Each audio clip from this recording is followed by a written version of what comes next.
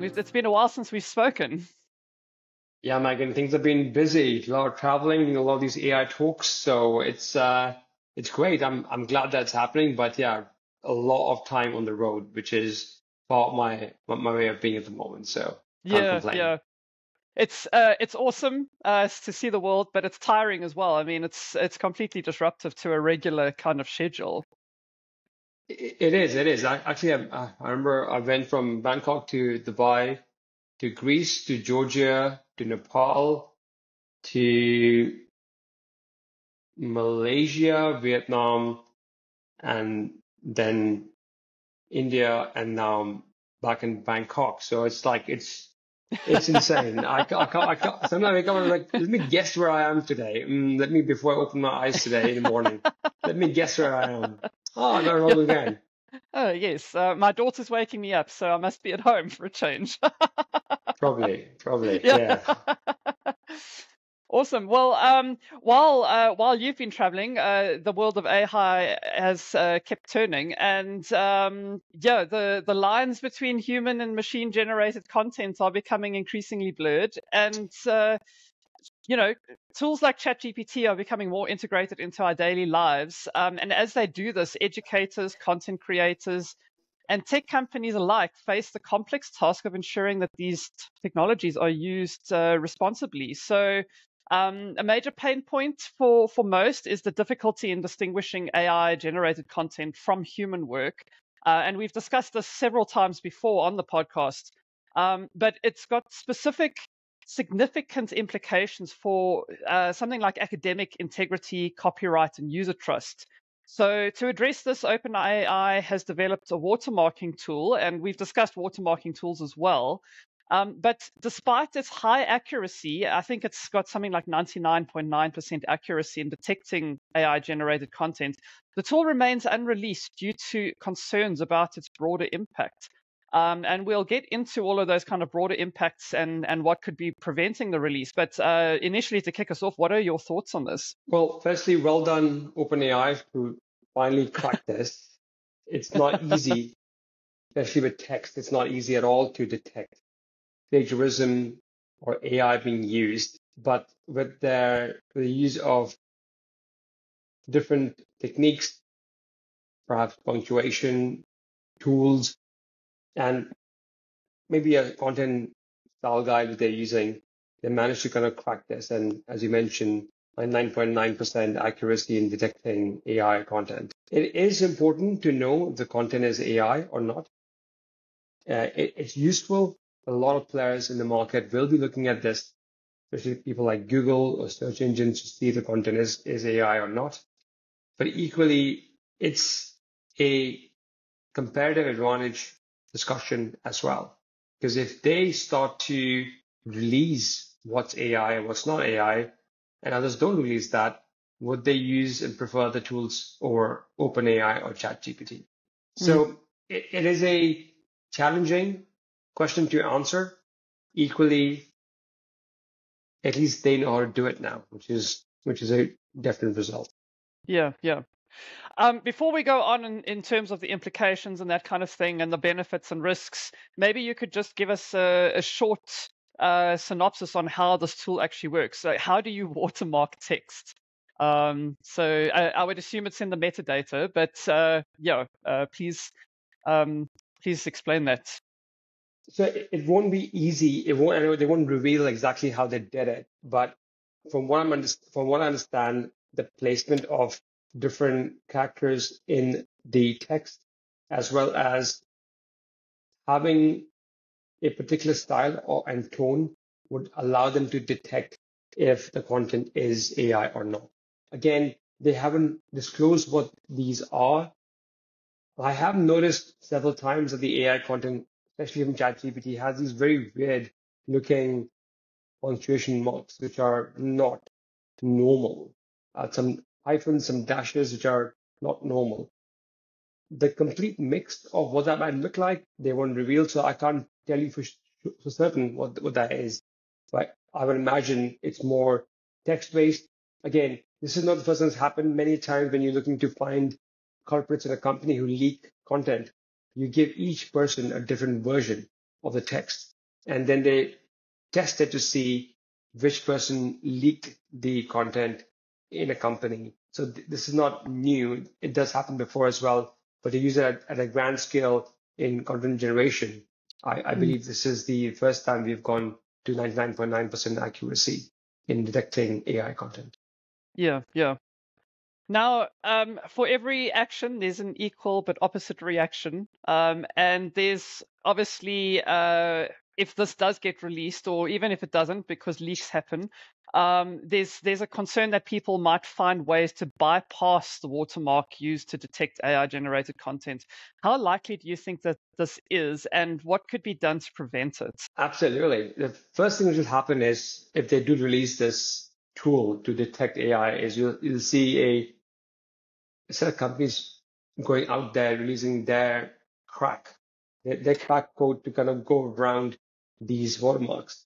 And it would be really easy. It's, all text based. It's a bit harder for images because in image, you have metadata in the images, in the videos, so you can detect if the image is done or created by a different tool. But when it comes to text, it is, you know, just stringing of characters and you can change them around to make them a particular way and make that almost untraceable for the tool which OpenAI created.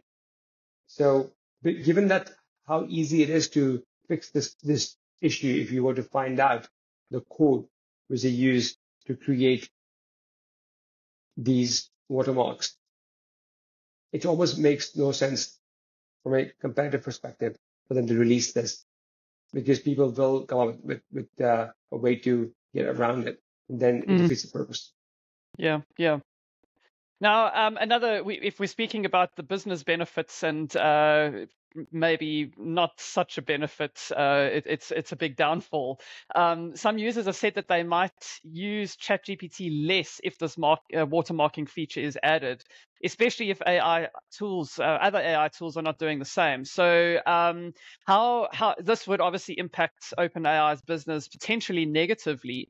Um, how could this affect the way AI tools are used overall? And do you think that the, uh, the industry should kind of set common rules for this? Yes, there might be conventions formed in the future on how they generate AI text, but I also feel it'd be very difficult to agree on one watermarking technique. For example, if you look at a analogy of antiviruses, each antivirus has their own way of releasing their code or their fixes, and they have to constantly upgrade and update it to keep to stay relevant. And again, it becomes a comparative advantage for each company as well to not give away their secrets. Mm. In a similar way, I feel that AI text will become, there will be tools created internally by almost every big player like Anthropic, like Gemini, but they will refrain from launching that to the public because that makes it very easy for someone to manipulate the information and create a fix for these and that this and the tool doesn't work as well. Yeah.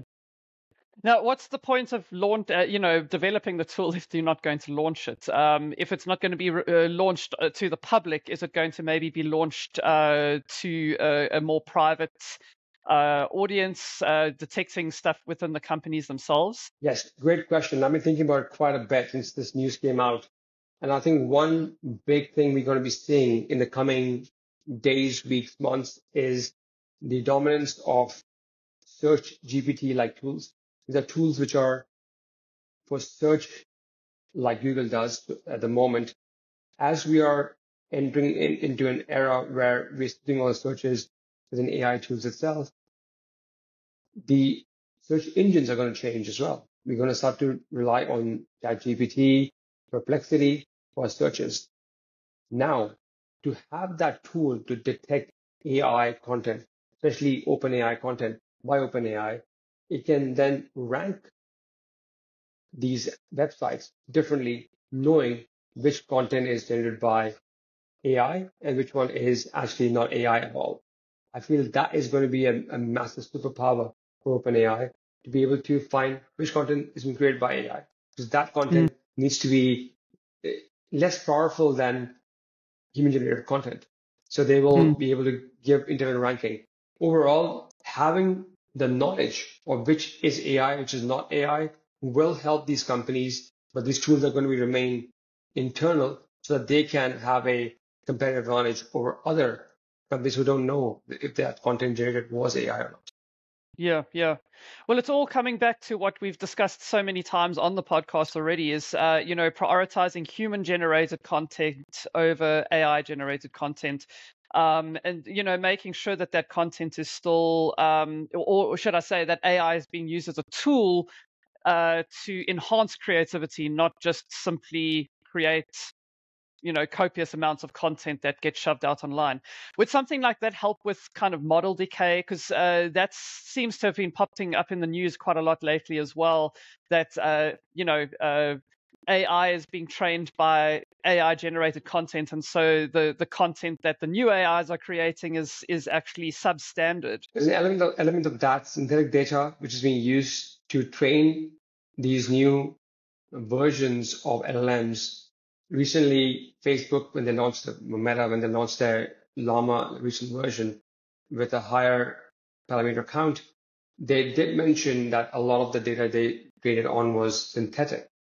There is still a lot of value in human generated content. There's still a lot of value in doing that because that's going to rank better and going to train the AI better as well. But many a times you can't do that. And that's, that's an issue. So if you can, and I'm sure every LLM prefers human edited content, human created content. But if they can't, then they have to use the second best thing, which is synthetic data. But yeah, yeah if you constantly keep using synthetic data for training, then there will be a decay in the the power of these LLM tools. It won't be better. Perhaps it'll be worse off than the previous versions. Mm-hmm. Uh, that's probably a good place for us to leave it today. Um, so, yeah, uh, as AI continues to shape the way we work uh, and create, uh, the conversation around responsible use becomes ever more critical. We'd love to hear your thoughts. Do you think tools like OpenAI's watermarking feature should be widely adopted, or do the potential risks outweigh the benefits? Uh, please share your opinion with us on social or in the comments. And of course, as always, if you enjoyed this episode, don't forget to follow or subscribe uh, to the Goodman podcast so you never miss out on our latest discussions. Uh, until next time, thanks, Raj. Thank you, Megan.